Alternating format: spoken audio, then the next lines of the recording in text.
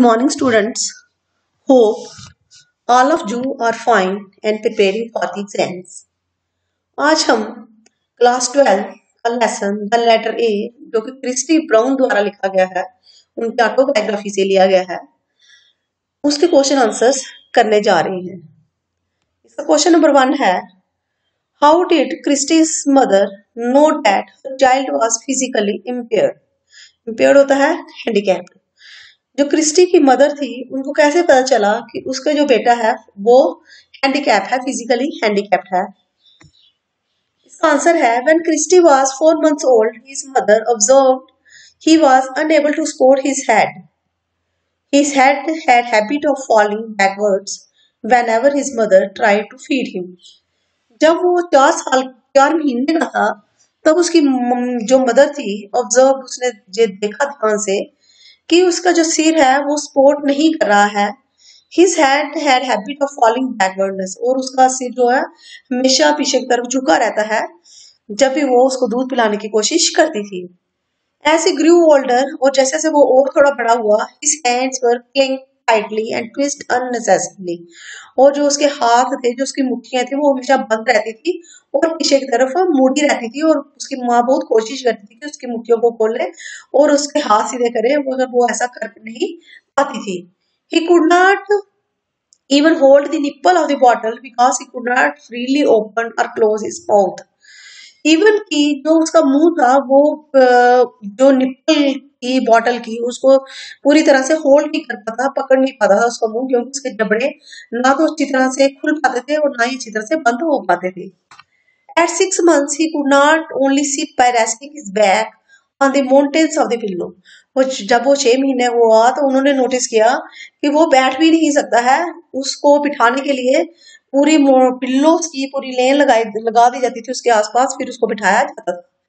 All the signs alert his mother so he consulted doctors ये जो सारे science थे, ये सारी जो उसने ध्यान से अपने बच्चे को ऑब्ज़र्व किया, ये उसको पता चला कि फिजिकली थोड़ी इस मेरे बच्चे में प्रॉब्लम है सो फिर उसने डॉक्टर्स को कंसल्ट किया क्वेश्चन नंबर सेकंड है, The doctors were so very sure of themselves that mother's faith in me seemed almost impersistence.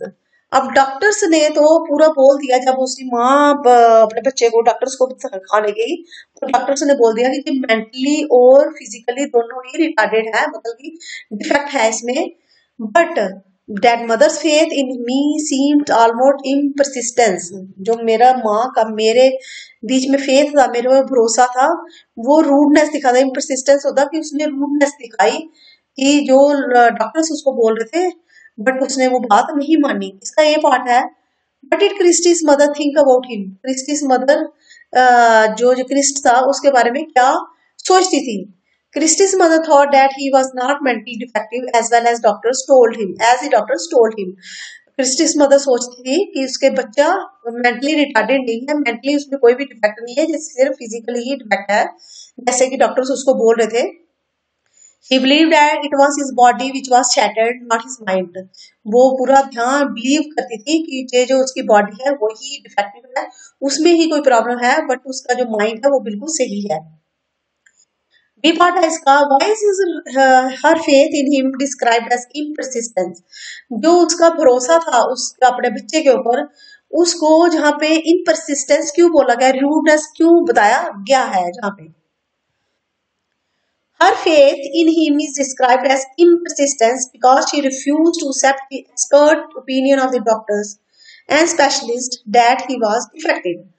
उसके जो भरोसा था अपने बच्चे के बीच में कि वो मेंटली रिटार्डेड नहीं है वो फिजिकली ही रिटार्डेड है ये जो उसकी रूडनेस थी जो डॉक्टर्स ने उसको ओपिनियन दी थी उसने उसको नहीं माना इसलिए इसको जहाँ पे इम्परसिस्टेंस बोला गया है she treated him in the same place as a normal child वो अपने बच्चे के साथ ऐसा ही पेश आती थी जैसे कि वो अपने बाकी बच्चों के साथ पेश आती थी she believe that it was his body which was shattered not his mind वो जानती थी ये उसकी बॉडी ही है, वो जो फिजिकली हैंडीकैप ना कि उसका दिमाग क्वेश्चन नंबर थ्री है in spite of all that doctors and specialist told her Christy's mother would not agree that he was imbecile. What does this reveal about her as a person? अब doctors ने और specialist ने तो उसको बोला कि तुम्हारा बच्चा क्या है? डिसाइल होता है डिफेक्टिव हैंडीकैप्ड कि वो बोला कि तुम्हारा बच्चा हैंडीकैप्ड है बट उसने वो बात नहीं मानी। एज ए पर्सन ये हमें क्या दर्शाता है? ये एज ए पर्सन उसकी माँ कैसी थी? इसका आंसर है it reveals that she was a positive person ये हमें ये दर्शाता है कि जो वो उसकी माँ थी, वो एक पॉजिटिव पर्सन थी पॉजिटिव की तरफ़ सोचती थी नेगेटिव की तरफ़ नहीं सोचती थी। Her positive attitude made her believe that her son could not be completely crippled. ये उसका पॉजिटिव एटीट्यूड ही था, जिस, जिससे कि उसने बिलीव किया कि मेरा बच्चा पूरी तरह से हैंडीकैप नहीं है। She love him and believe in him वो उसे पूरा प्यार करती थी और उसके ऊपर भरोसा करती थी। To her it was his body which was shattered not his mind उसके लिए उसकी बॉडी ही फिजिकली हैंडीकैप थी, ना कि उसका दिमाग। क्वेश्चन नंबर फोर है what did Christie's mother hope to achieve by showing him pictures and animals of flowers अब क्रिस्टीज मदर्स क्या अचीव करना चाहती थी? क्या उसके अंदर भरोसा था जब वो अपने बच्चे को कभी पिक्चर्स दिखाती थी, कभी एनिमल्स की, कभी फ्लावर्स की? तो क्या अचीव करना चाहती थी इस चीज़ से वो? आंसर है Christy's mother wanted to prove that her son was not an idiot but normal like other children वो ये प्रूफ करना चाहती थी उसका बच्चा जो है वो मेंटली डिफेक्टिव नहीं है मेंटली रिटार्डेड नहीं है, वो नॉर्मल बच्चों की तरह ही सोच सकता है। She set out to prove this वो इस चीज़ को प्रूफ करना चाहती थी by showing her son pictures of animals and flowers she wanted that he could speak and understand things by this अब वो जब अपने बच्चे को जो चीज़, सब चीज़ें दिखाती थी पिक्चर्स दिखाती थी एनिमल्स के फ्लावर्स की, वो जो प्रूफ करना चाहती थी, वो जो चाहती थी कि उसका बच्चा बोले और अंडरस्टैंड करे बाकी चीज़ों को। क्वेश्चन नंबर फाइव है what was the advice offered by relatives and friends वो जो उसके रिलेटिव थे, जो उसके रिश्तेदार थे, वो उसको क्या बोलते थे, उसकी माँ को क्या बोलते थे क्रिस्टी के बारे में? Was white lucky for the writer that his parents did not heed the advice और ये किस तरह से राइटर के लिए राइटर ने क्रिस्टी ब्राउन के लिए किस तरह से फ़ायदेमंद हुआ कि उसके पेरेंट्स ने अपने रिलेटिव्स की बात नहीं मानी? आंसर है the relatives and the friends contented that Christy was an idiot अब जो उनके फ्रेंड्स और रिलेटिव उनको भरोसा दिलाने की कोशिश करते थे कि क्रिस्टी एक इडियट है, एक डिफेक्टिव पर्सन है।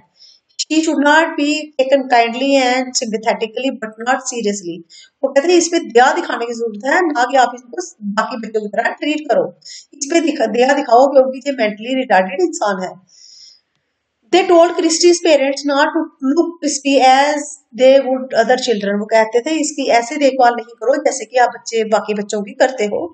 This would only break their heart in the end but ये सब चीज़ें क्रिस्टी के अंदर जो डिटर्मिनेशन थी और उसके माँ के अंदर जो सेल्फ कॉन्फिडेंस था, उससे ये सब चीज़ें गलत साबित हुई। Writer was lucky that his parents held out against a lot of them writer जो था क्रिस्टी बड़ा लकी था कि उसके पेरेंट्स जो थे, उसके उस पर भरोसा करते थे और उसके साथ बहुत सारा प्यार करते थे और उसके लिए बहुत कुछ करते थे।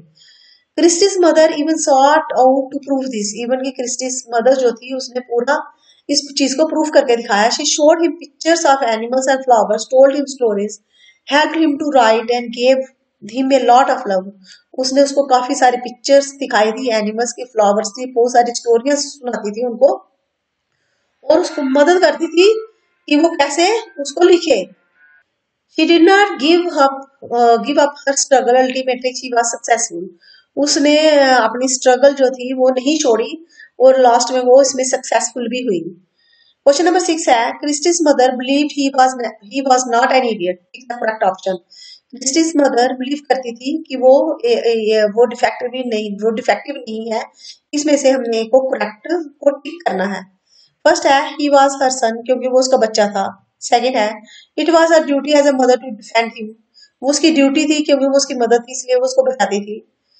थर्ड है she loved him and believe him in तीनों में से करेक्ट कौन सा है? थर्ड वाला करेक्ट है, क्योंकि वो उसे प्यार करती थी और उस पर भरोसा करती थी, ये इसका करेक्ट आंसर है। आगे है question number seven Christy's feel that not many mothers would have treated him the way his mother did how would Christy's have been treated in another household. Christy believe करता था कि उसके साथ जैसे वहाँ पे पेश कर, उसकी मदर उसके साथ पेश आती है, बाकी मदर्स अपने बच्चों के साथ इस तरह से पेश नहीं आती अगर क्रिस्टी और किसी घर में होता तो क्या उसके साथ सेम बर्ताव होता, जैसे कि उसके इस घर में हो रहा था answer Christy's feel that not many mothers would have treated him the way his mother did वो फील करता था कि जैसे उसके साथ उसकी माँ बिहेव करती है, अगर वो और कहीं होता तो ऐसी, कोई भी उसके साथ ऐसा पेश नहीं होता. दिस इज़ ए फैक्ट और एक सच्चाई है. They would have treated him kindly and sympathetically but not seriously उसके ऊपर दया ही दिखाई जाती है, अगर वो कहीं और होता, उसको सीरियसली नहीं लिया जाता. They would have not struggle to the extent Christy's mother struggle to mould him और कोई भी इस तरह से स्ट्रगल नहीं करता उसको मोल्ड करने की उसको ठीक करने की जैसे कि क्रिस्टी की मदर ने की।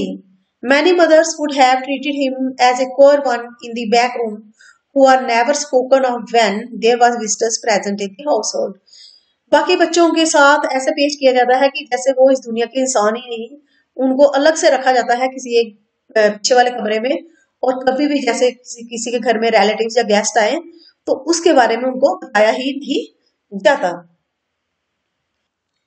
क्वेश्चन नंबर एट है that was a momentous decision what decision his mother take about bringing him up why did Christy consider the decision a momentous one उसने कहा जो उसकी माँ ने डिसीज़न लिया, उसको बड़ा करने के लिए, कैसे उसको बड़ा करना है? वो एक मोमेंटस डिसीज़न कैसे था?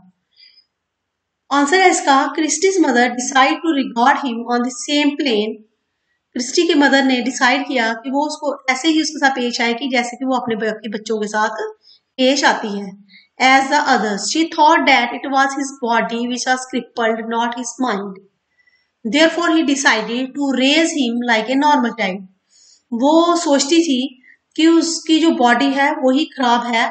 फिजिकली वो वीक है बट मेंटली वो ठीक है। इसलिए उसने डिसाइड किया कि उसको वैसे ही वो ब्रिंग करे ब्रिंग अप करेगी बड़ा करेगी जैसे कि वो अपने बाकी बच्चों के साथ पेश आती है Christie's considered his mother decision a momentous one because it meant that his mother was always to be with her, his side to fight all the battles that were to become in his way and to inspire him with new strength. अब Christy कहते हैं कि जे उसकी माँ ने जो decision लिया एक मोमेंटस था, क्योंकि इसी डिसीज़न की वजह से उसकी माँ जो थी, हमेशा उसकी साइड रहती थी, और जो भी ऑब्स्टेकल्स या जो भी लड़ाई उसके रास्ते में आती थी इन इज़ वे तो वो उसको इंस्पायर करती थी, एक नई एनर्जी उसके अंदर लाती थी, और उसको करती थी कि तुम्हें इससे लड़ना है और इससे ओवरकम होना है, इससे बाहर आना है। eventually, the decision proved to be significant. One in the christie's life. वो जो जो उसका डिसीज़न था, एक सिग्निफिकेंट रोल उसने उसकी लाइफ में प्रूव किया। क्वेश्चन नंबर नाइन है despite being surrounded by lovely family what was Christie's feelings as he lay on his back in his in the kitchen और इन द गार्डन इवन की उसकी इतनी अच्छी फैमिली थी और इतनी बड़ी फैमिली थी, जैसे कि आपको स्टार्टिंग में बताया गया ट्वेंटी टू मेंबर्स थे उसकी फैमिली के, जो बच्चे। और उसके मम्मी पापा मिला के ट्वेंटी फोर मेंबर्स की फैमिली थी।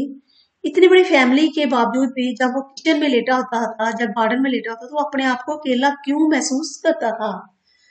इसका आंसर है Christy's felt himself lonely and imprison in the world of his own वो उसको लगता था, वो अपने आप को अकेला लोनली मैंने अकेला महसूस करता था और उसको लगता कि मैं अपनी ही जो दुनिया है उसमें जैसे जकड़ा हुआ हूँ इम्प्रिजन मैंने किसी को जैसे जेल में डाल देना he could not communicate with other वो किसी के साथ कम्युनिकेट नहीं कर सकता था, बातचीत नहीं कर सकता था।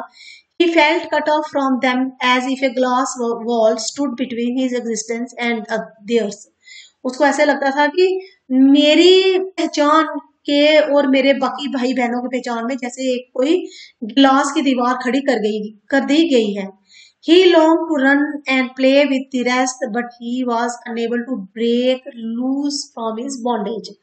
वो उस दीवार को तोड़ देना चाहता था और भाग के उन बच्चों के साथ खेलना चाहता था बाकी बहन भाइयों के साथ बट वो ऐसा कर नहीं पाता था इसलिए वो अपने आप को अकेला महसूस करता था क्वेश्चन नंबर टेन है while his father was busy brick laying उसके जो पापा थे, वो ईंटे बनाने का काम करते थे His mother was patiently pulling down the wall brick by brick. Which wall was the mother pulling down? उसके पापा हमेशा बिज़ी रहते थे ईंटे बनाने के काम में, और उसकी माँ जो थी, बड़ी पेशेंटली क्या करती थी एक वॉल थी, जिसको एक एक ईंट करके वो हटा रही थी यहाँ पे कौन सी दीवार के बारे में कौन सी वॉल के बारे में बात की गई है? आंसर है, the mother was pulling down the barrier that separated Christy from the other children. Mother कौन सी दीवार को हटाने की कोशिश कर रही थी? जो एक बैरियर बन चुकी थी क्रिस्टी और बाकी बच्चों के बीच में। He was slowly and patiently penetrating beyond thick curtain that hung over his mind वो उस जो पर्दा उसके दिमाग में पड़ चुका था वो उसको आहिस्ता आहिस्ता करके हटा देना चाहती थी और बाकी बच्चों के बीच में वो उसको मिक्स करना चाहती थी। She believe that Christy was an idiot but normal like other children वो बिलीव करती थी क्रिस्टी वो जो है, वो डिफेक्टिव डिफेक्टिव नहीं है, वो बाकी बच्चों की तरह ही एक अच्छा बच्चा है। It was just his body which was crippled, not his mind. She worked hard to remove all the obstacles that come in the way of the Christie's progress. इसलिए वो क्या करती थी हमेशा हार्ड वर्क करती रहती थी काम करती रहती थी जिससे कि कौन सा काम करती रहती थी कि जो ऑब्स्टेकल्स जो रोडे उसकी ऑब्स्टेकल्स होते रोडे जो उसके रास्ते में क्रिस्टी के रास्ते में आ रहे हैं उनको वो हटाने की कोशिश करती रहती थी क्वेश्चन नंबर इलेवन है they no spoke of an institution ये लाइन है लेसन से ली गई। इसका ए पार्ट है who is they in the line जो ऊपर लाइन लिखी गई है, इसमें दे कौन है? आंसर है they refers to the relatives and friends of the Christy they जहाँ पे और उसके रिलेटिव्स और फ्रेंड्स हैं क्रिस्टी के they contented Christy was idiot and should be taken to an institution for the mentally challenged वो कहते थे कि एक डिफेक्टिव बच्चा है, इसलिए इसको कहाँ भेज देना चाहिए? इंस्टीट्यूशन मैंने एक ऐसे जगह भेज देना चाहिए जहाँ पे मेंटली रिटार्डेड चिल्ड्रंस को रखा जाता है। इसका बी पार्ट है। What is institution they are speaking of वो कौन से इंस्टीट्यूशन की बात कर रहे थे? They are speaking of the institution for mentally challenge mentally challenge मैंने जो दिमागी रिटार्डेड लोग हैं, उनके लिए जो इंस्टीट्यूशन बनाया गया है, वो कहते थे कि इसको वहाँ पे भेज दो। इसका सी पार्ट है how did Christy's mother respond to their suggestion अब ये जो वो उसके रिलेटिव वगैरह जो उसको सजेशन देते थे तो क्रिस्टी की मदर इस पे कैसा रिस्पॉन्स देती थी? आंसर है Christy's mother fiercely rejected their suggestion वो बड़े गुस्से से उसके जो सजेशंस देते थे, उनको वो रिजेक्ट कर देती थी। She told them that Christy was not an idiot वो हमेशा उनको बोलते रहते क्रिस्टी इडियट नहीं है, वो मेंटली रिटार्डेड नहीं है। जो उसकी जो सिर्फ़ बॉडी है, जो मेंटली जो फिजिकली वो रिटार्डेड है बट मेंटली वो ऐसा नहीं है, उसका दिमाग बिल्कुल सही है। क्वेश्चन नंबर ट्वेल्व है Christy's mother and father and सेपरिंग forming the letter A as tick the correct option Christy की मदर और उसके पापा सिबलिंग्स हो गए जो उसके बाकी भाई बहन थे। जो वो बोलते हैं सिबलिंग्स जब वो लेटर ए बना रहा होता है तो वो उसको देख रहे होते हैं। अब इसमें से कौन सा ऑप्शन ठीक है ठीक है हमें उसको टिक करना है। ए ऑप्शन है ए साइन ऑफ़ इंटेलिजेंस कि वो उसकी इंटेलिजेंस को शो करता था, जब वो लेटर ए लिख रहा था that merely an imitative gesture या फिर लगता था कि उसने नक लगा के ऐसा लिख लिया। नहीं, ऐसा नहीं था। ए साइन ऑफ़ इंटेलिजेंस वो उसकी इंटेलिजेंस को शो करता था जो उसने लेटर ए बनाया था। क्वेश्चन नंबर ट्वेल्व है Why was Christie surprised to see himself holding a chalk stick between his toes? जब क्रिस्टी अपने ही आप को देखता है कि उसने चौक स्टिक को अपने टोज के बीच में पकड़ा है तो वो कितना सरप्राइज़ हो जाता है, इसके बारे में हमें लिखना है Christy was surprise to see himself holding a chalk stick between his toes because he could not believe his his eyes how he was able to grip the piece of the chalk between his toes Christy बहुत हैरान होता है जब वो देखता है कि उसने जो चौक चौक पीस ऑफ़ चौक जो था, अपने टोज के बीच में पकड़ लिया है तो वो अपनी आँखों पे विश्वास ही नहीं कर पाता है। He hardly knew how it got there वो समझ ही नहीं पाया कि कैसे हो गया। He was also not knowing what to do with it next अब वो जो जानता नहीं था वो क्या करेगा। It was really unbelievable achievement for him ये उसके लिए खुद ही अनबिलीवेबल अचीवमेंट था। क्वेश्चन नंबर थर्टीन है। Why was everyone tense in the room when they saw Christie's attempting to write. सारे लोग क्यों टेंस थे जब उन्होंने क्रिस्टी को देखा था अंदर से कि वो लिखने की कोशिश कर रहा है? आंसर है holding a piece of chalk between his toes and attempting to write surprise everyone in the room जब उसने चौक लिया अपने पाँव में और लिखने लगा तो सारे लोग जो अंदर से देख रहे थे, वो बड़े हैरान हुए। They were excited and tense simply because everyone know one uh, now wanted to see the overcome of the Christian struggle. अब वो एक्साइटेड इसलिए और टेंस इसलिए थे वो जानना चाहते थे कि जो क्रिस्टी है वो अपनी जो स्ट्रगल कर रहा है उससे वो कैसे ओवरकम होगा और क्या वो इसको अचीव कर पाएगा या नहीं। क्वेश्चन नंबर फिफ्टीन है what do you think finally help Christy's achieve the impossible क्या चीज़ क्रिस्टी को हेल्प करती है?